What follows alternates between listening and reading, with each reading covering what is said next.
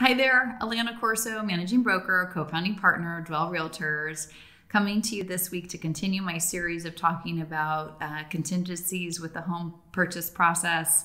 And this week, addressing three of the um, more uncommon contingencies um, sale of a, a, buyer's home, uh, title, and then also lead based paint contingency.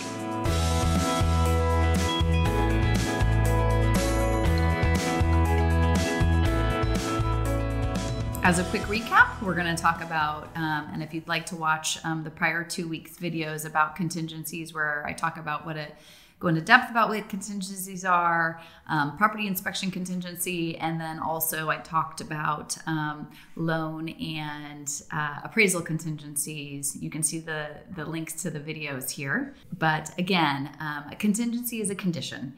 Uh, that needs to be met um, during the due diligence process when you're purchasing a home um, dictated by a time period, time frame, number of days. So this week I am tackling three of the probably more uncommon contingencies that we see here in the peninsula, um, but you know very worth addressing. Uh, the first one is sale of a buyer's property contingency. So sometimes, and a lot of people aren't comfortable selling their house before they find their next one because realistically, you may not, you know, know how long it will take you to buy your next home, and we don't have tons of inventory here on the peninsula, and so you don't want to sell your house. You don't have the funds in the bank to you need the equity from the sale of your current home in order to buy your next house. And so you can't take the risk. And so you need to have what's called a sale for the contingency of your home in the contract. And this means that you have a certain time period. Usually it's, you know, you need at least probably three weeks to realistically get your house listed um, and, and sold. Um, and then, you know, time period beyond that to successfully close escrow so that you can get the proceeds from your current home into um, a bank account or escrow um, in order to buy and successfully close on your next one. So you may need that sale contingency. And unfortunately, it's one of the most um, kind of, I, I would say it's probably not an ideal contingency for a seller to accept a purchase contract with it, just because there's obviously another sale involved in it and a lot more complications and issues that can arise. Um, so it's something that is rather complicated, um, and you need someone like myself to kind of really be guiding you, understanding time periods, understanding your particular situation, understanding everything about your house, what neighborhood, all the different factors that are going on, um, and also making sure that all the numbers line up and work up in time periods to make sure that you can do it in in the way that you really need to get it done. So rare to see because they are not super attractive here on our super competitive um, peninsula market. But again, do happen, occur.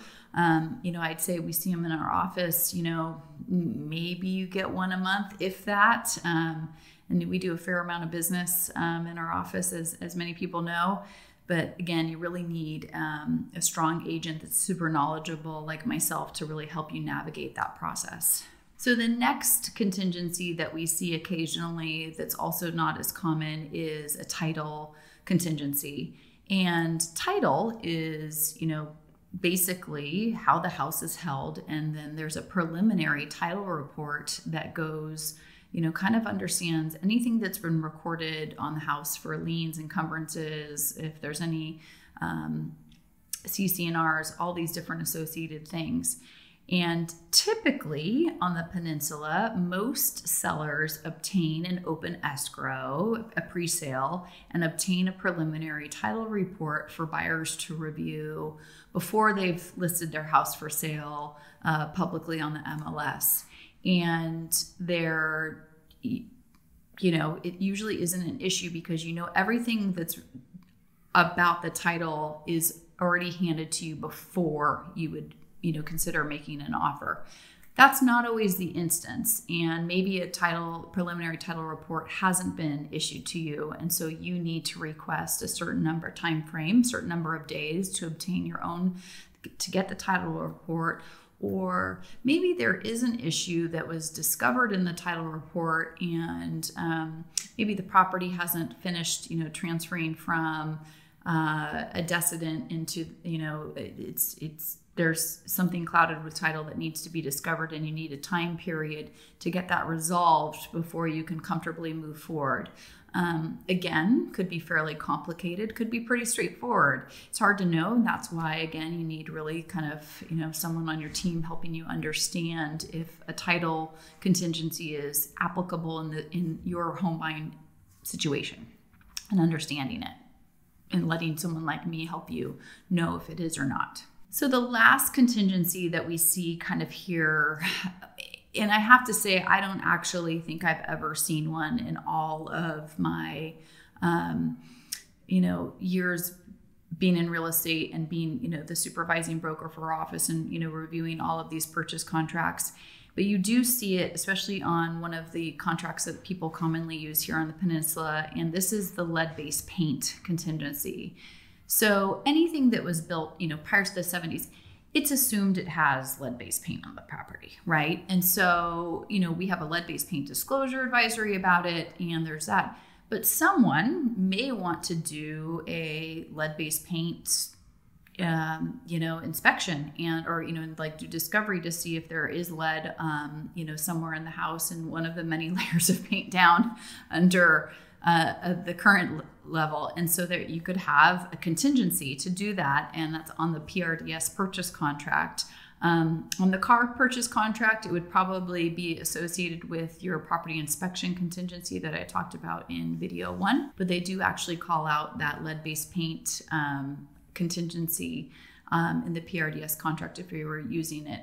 Again, really rare for people to use it here on the peninsula and actually put that kind of contingency in place. But maybe as a buyer, that's super important to you to understand, and you just want to understand, um, you know, what is if there is lead-based paint in the house.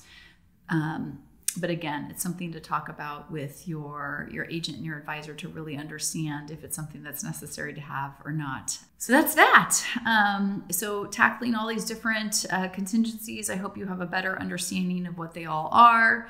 Um, again my job is to help guide you and advise you through this process to understand what contingencies if any you want to have in your purchase contract when you're negotiating.